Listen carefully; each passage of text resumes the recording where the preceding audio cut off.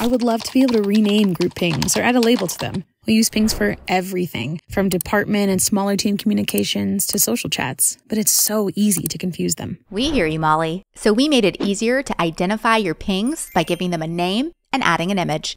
Click the names in the header to make changes. Give your ping a name, add an image, and save.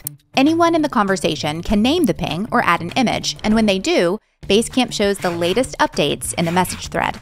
The ping you're looking for is now easy to spot with a single image replacing multiple avatars, a unique label, and the number of people in each thread. Open it up, and the individual names appear in the header. And if you change your mind, it's easy to edit the name or delete it altogether to go back to how it started.